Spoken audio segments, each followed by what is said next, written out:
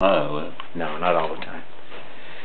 Hello, we're speaking with Clarence W. Eudaily, also known as Red Eudaily, from the 15th Army Air Force, 464th Bomb Group, 776th Bomb Squadron, who served in Italy out of the base called Pantanella during World War II and was flying as part of a 10-man crew on a B-24 Liberator, which was bombing targets in the Third Reich, occupied Europe.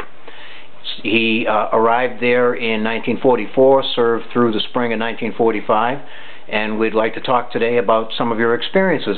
Red, let's go back to the beginning. You were born in 1924 in Mason City, Illinois, and you grew up on the farm there, is that right? uh, yes. What was that like before the war for you? How did how would you describe all that?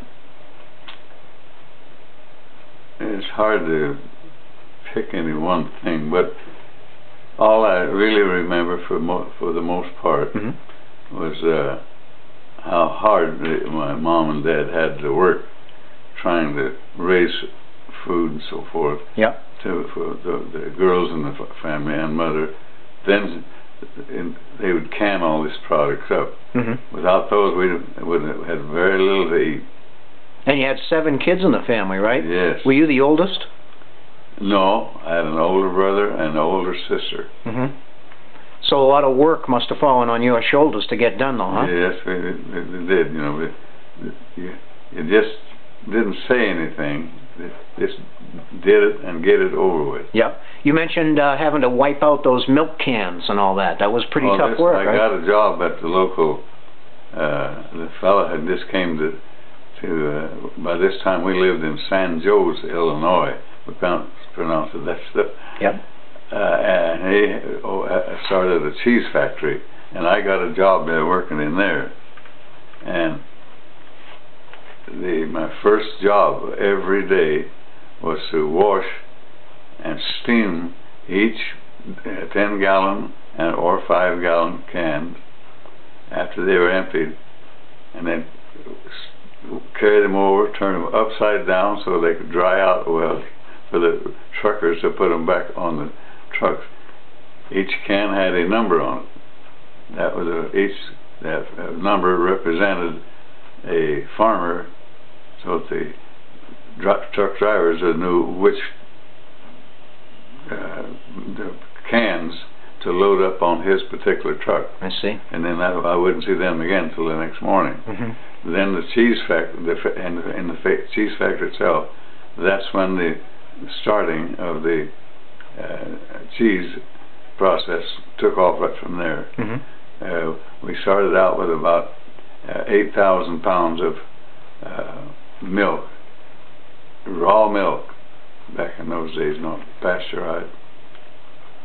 This in a 10 pound, 10,000 pound vat. It's all done all by hand. You cooked it up to about 115 degrees, then drained it off. Go ahead.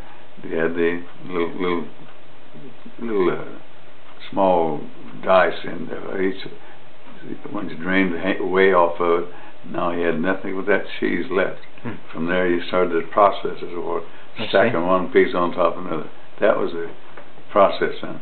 So working like this, you must have grown up into a pretty strong, strapping young man, huh?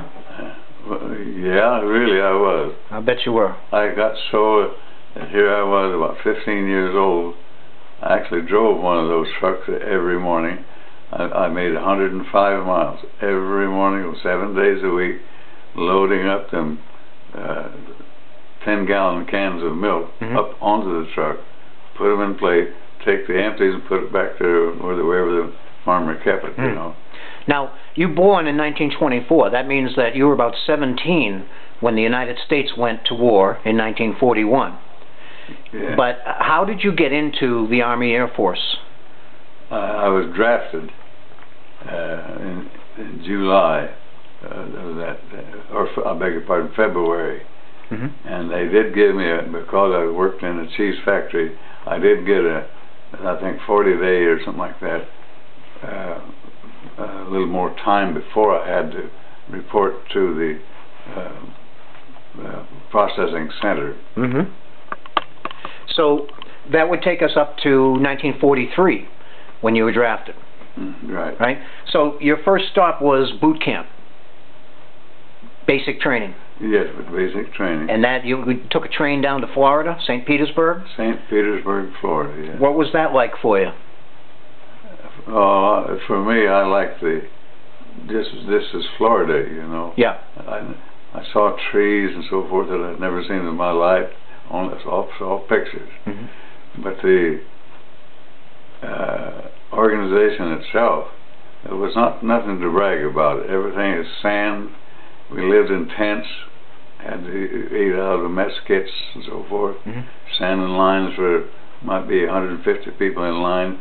It was, and it was pretty. No shower facilities. Sure.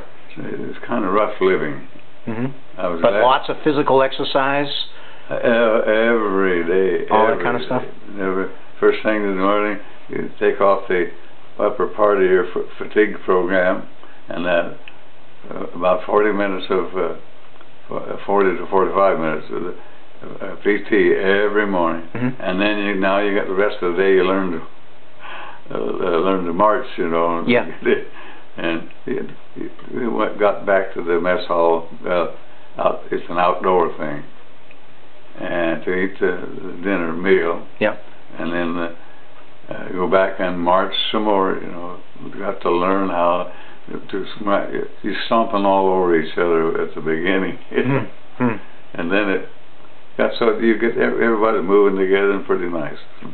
I, I, you had to, all this had to take place within a certain given time, because they already had us uh, figured out what where we're going to go when we leave there. So, and, it, Okay. it works real nice in that asp- aspect.